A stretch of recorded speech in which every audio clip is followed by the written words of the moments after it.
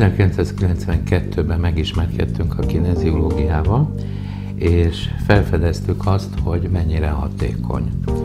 És a hatékonyságát a Főnix madár allegóriájával igyekeztünk kifejezni, tehát a stúdiót tulajdonképpen arra alapítottuk, hogy a kineziológia, az asztrológia segítségével az embereknek segítsünk akár újjászületni. A kineziológiához azóta már sok minden társult, akkor még csak egy kineziológiai ágat ismertünk, de megismertünk azóta további ötöt, sőt már hetet is.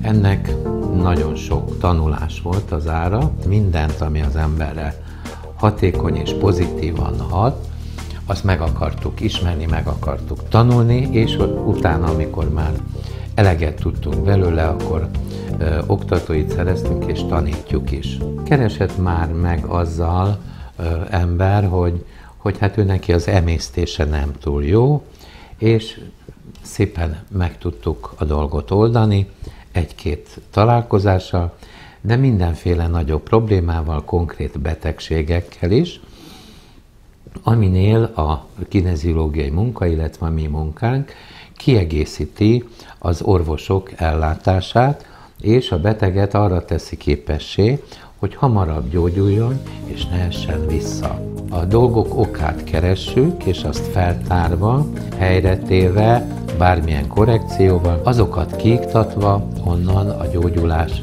megközelíthető, és képessé válik az illető a gyógyulásra, és nem csak egyik betegségből a másikba vonulásra. Az alatt a 23 év alatt, amióta foglalkozom terápiával, azóta körülbelül 22 ezer egyéni terápián vagyok túl. A stressz számunkra úgy marad meg, mint egy nagyon befolyásoló tényező az életünkben.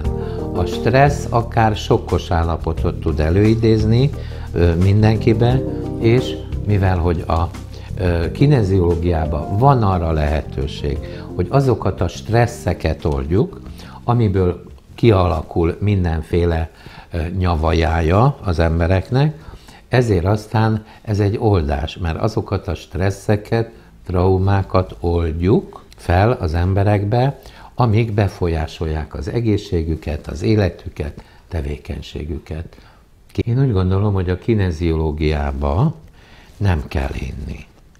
Tehát ez egy önmagában ma már tudományos tényként működik. A magyar törvényekben benne van, hogy nálunk törvényesen működhet kineziológus, van ilyen, meg van szabva, hogy milyen vizsgákhoz köthető ez, és onnantól kezdve ez nem kuruzslás, hanem egy államilag elismert működés. Az, hogy hisz vagy az ember benne vagy nem, a dolog akkor is működik, de energia szintjén. Ha végképp ellenséges valaki, akkor viszont nem lehet oldani sem, mert minden egyes találkozáskor az az első, hogy engedélyt kérünk a tudatától, és még a tudatalattiától is, hogy dolgozhatunk-e együtt. Hogyha annyira ellenséges, és valaki mégis ide zavarta, akkor nem fogjuk megkapni az engedélyt arra, hogy együtt dolgozzunk. Én nem tekintem betegnek az embereket, akármilyen betegséggel jönnek ide. Én, hogyha valaki eljön hozzám, akkor azt ö, támogatom, hogy az az egészségkép, amit önmagában hordoz mindenki, az megtisztuljon a különböző traumáktól, sokkoktól, stresszektől, energetikai imbalansoktól, és onnantól kezdve ő képes az egészség visszaállítására. Tehát bármi ilyen problémával keresnek meg, én azt mondom, hogy jöjjön el, és kitesztelem, hogy tudunk-e valamilyen eredményt elérni. Tehát az első oldáson kitesztelem azt, hogy én, az én tudásom hozhat-e bármilyen pozitív dolgot az ő életébe, és csak akkor folytatjuk az együtt való munkát, hogyha erre igent kapunk. Azt is kitesztelem, hogy az, amit elérünk az oldás folyamán, milyen gyakorlatokkal lehet megerősíteni, és az mennyi idő alatt kell, hogy beépüljön.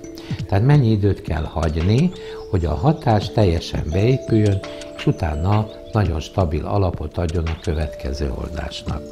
ezért hozzám nem lehet hetenként jönni, két hetenként, három hetenként már nagyon-nagyon ritkán, négy hetenként általában négy és öt és hat hetenként jöhet egy ilyen terápia.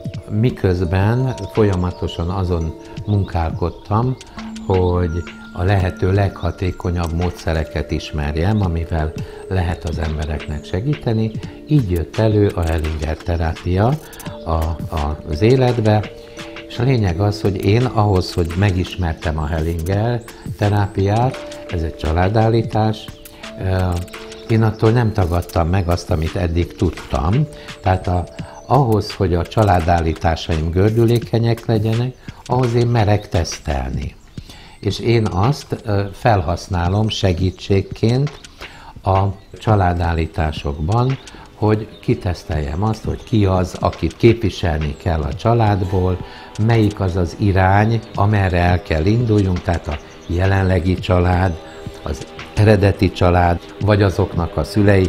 Tehát ki mindenkit kell beállítani, és milyen formába kell megoldani a családállítást. Ezt is kiszoktam tesztelni, így aztán talán azáltal, hogy én ezt kitesztelem, azáltal talán kevesebb tévedek. A családállítás után pedig átalakulhat az ősöktől kapott minta, amit hurcolunk, az ősöktől által magunkra vett jóvátétel, vagy bármi olyan nehézség, amit mi anélkül képesek vagyunk vinni az életünkbe, hogy tudnánk róla. Tehát ezek a lényeges dolgok tudnak pillanatok alatt elmúlni. Valamikor három-három és fél, négy éve jelent meg Magyarországon a Theta Healing, és akkor volt valaki, egyik kliensem, aki mondta, hogy ezzel találkozott, e, és a következőkben pedig, mit tudom én, azt hiszem augusztusban e, Magda meglátta a, ezt a könyvet, és megvette. E, és amikor én elolvastam ezt a könyvet, azt mondtam, hogy ez nekem kell.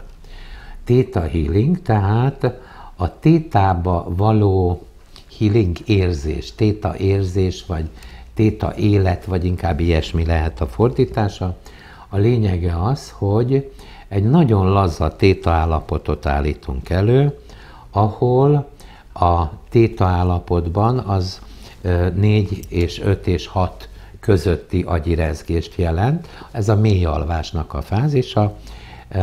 Egy felületes téta állapotot állítunk elő, és ott nagyon érdekes módon még a teremtő, mindenható teremtőt is segítségül hívva vesszük ki közvetlenül azokat a rossz érzéseket, vagy gátló hitrendszereket az emberből, amik befolyásolják a sikerét, vagy gátolják, és betesszük helyette azt a pozitív érzést, meg pozitív hitrendszert, ami viszont ahelyett kiválóan tud hatni. Professzor dr. Edward Bach az Angol Akadémia tagja volt a múlt század, tehát az 1900-as évek elején.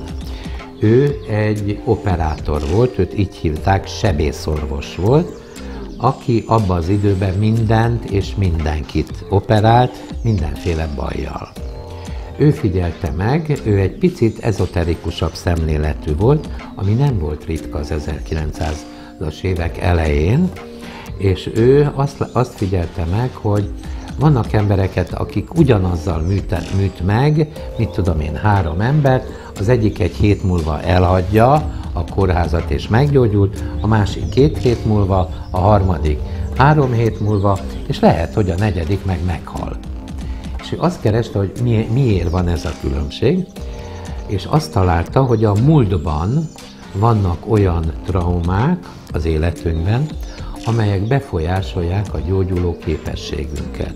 Akkor, eh, amikor erre rájött, elkezdtek kutatni, hogy mivel lehet a múlt dolgait, múlt traumáit megváltoztatni, amit az emberek őriznek.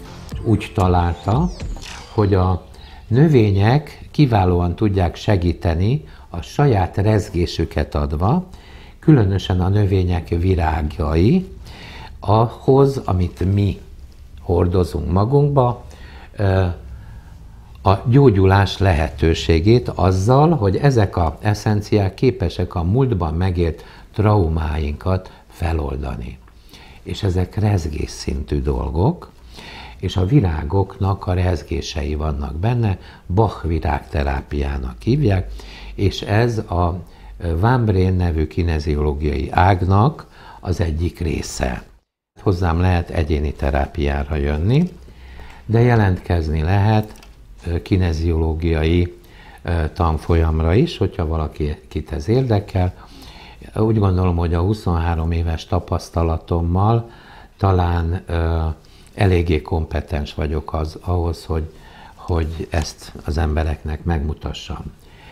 Minden hónapban tartunk Hellinger-féle családállításokat, amit a magunk módján nagyon-nagyon szorosan a Bert Hellinger módszerét tisztelve valósítunk meg, de várjuk az embereket asztrológiára, várjuk az embereket a fiam által lélekállításra, mert hogy a családállítást és a lélekállítást lehet négy szem közt csinálni.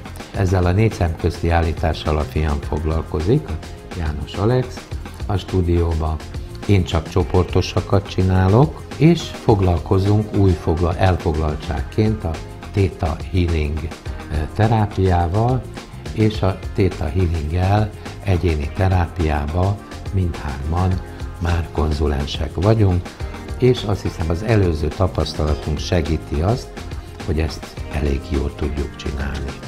Mindenkit várunk egyébként, aki jobbá akarja valamiért tenni az életét, aki úgy érzi, hogy van még plusz az ő életébe, és azt valamiért el akarja élni, vagy mindenkit várunk, aki úgy gondolja, hogy elakadt valamiért, és nem tudja a tovább lépés irányát.